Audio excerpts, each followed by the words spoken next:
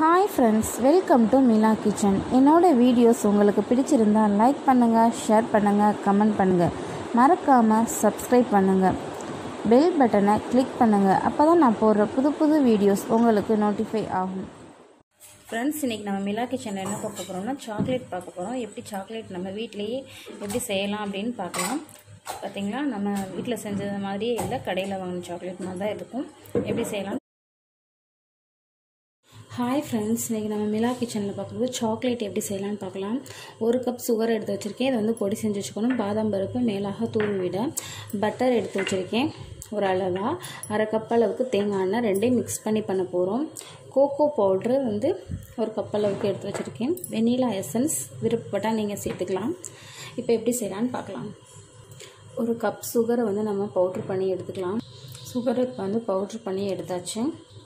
இப்போ நம்ம சுகரை வந்து சளிச்சு எடுத்துக்கலாம். நம்ம சாக்லேட் பண்ணும் போது நம்ம எல்லா பொருளையும் நம்ம சளிச்சு தான் நம்ம யூஸ் பண்ணணும். அப்போ தான் நமக்கு சாக்லேட் நல்லா டேஸ்டியாக நல்லா கிடைக்கும்.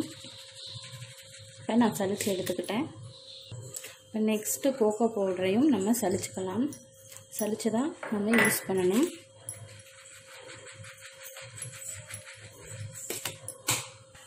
இப்போ ரெண்டையுமே நம்ம நல்லா மிக்ஸ் பண்ணி விட்டுக்கலாம். மிக்ஸ் பண்ணி தான் நம்ம வந்து இதை ரெண்டையும் நம்ம மிக்ஸ் பண்ணிக்கணும். Sugar and choco powder chocolate powder அதை நம்ம மிக்ஸ் பண்ணி நல்லா எடுத்துக்கலாம் இப்போ ஒரு பாத்திரத்தை வந்து நான் அடுப்பில் வச்சுருக்கேன்.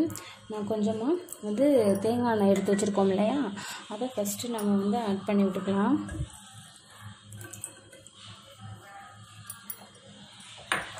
நெக்ஸ்ட்டு வந்து நம்ம பட்டர் எடுத்து வச்சுருக்கோம். பட்டரு ஆப்ஷன் தான் பட் நீங்கள் தேங்காய் மட்டுமே யூஸ் பண்ணி பண்ணணும்னாலும் பண்ணலாம் நல்லாயிருக்கும் டேஸ்டியாக இப்போ நான் ரெண்டும் கலந்து பண்ணலான்னு நான் ஐடியா பண்ணியிருக்கேன். இப்போ நமக்கு கறந்து வர ஸ்டேஜில் கொஞ்சம் கொஞ்சமாக வந்து நம்ம இந்த பவுடர் நம்ம மிக்ஸ் பண்ணி வச்சுருக்கோம் இல்லையா?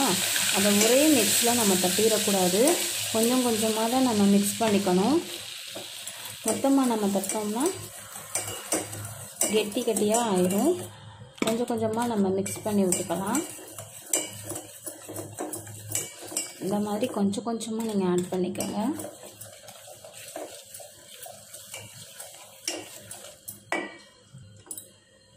கொஞ்சம் கொஞ்சமாக மிக்ஸ் பண்ணி ரொம்ப கெட்டியாகவும் வரக்கூடாது. ரொம்ப கல் கணக்காகவும் இருக்கக்கூடாது. நம்ம சாக்லேட் பதத்துக்கும் வர மாதிரி பார்த்துக்கலாம். குழந்தைகளுக்கு வீட்லேயே நம்ம சாக்லேட் வெளியில் வாங்கி கொடுக்காம ஹோம்மேட் சாக்லேட்டை நம்மளே பண்ணி கொடுக்கலாம். ஈஸி தாங்க ரொம்ப ஈஸியாக பண்ணிடலாம்.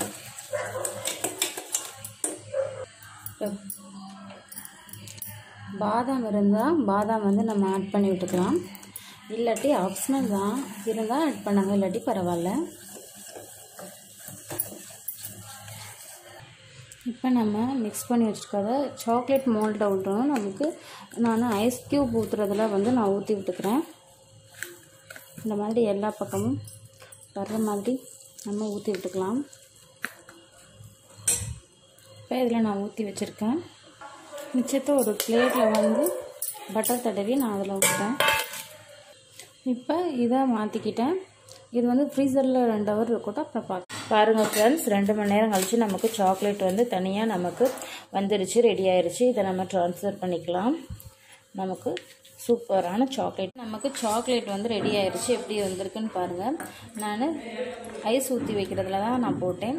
உங்களுக்கு சாக்லேட் மோடு வந்து இந்த மாதிரி போட்டுக்கலாம். எப்படி வந்திருக்குன்னு பாருங்கள் இந்த மாதிரி ஒவ்வொரு சாக்லேட்டாக நான் எடுத்துக்கிறேன். தட்டில் போட்டது நமக்கு வந்து ரெடி ஆயிடுச்சு சாக்லேட் பாருங்கள் இந்த மாதிரி இருக்குன்னு. இதை நமக்கு கட் பண்ணிக்கலாம். சின்ன சின்ன பீஸாக இப்போ நமக்கு சாக்லேட் ரெடி இந்த ரெசிபி உங்களுக்கு பிடிச்சிருந்தா லைக் பண்ணுங்கள்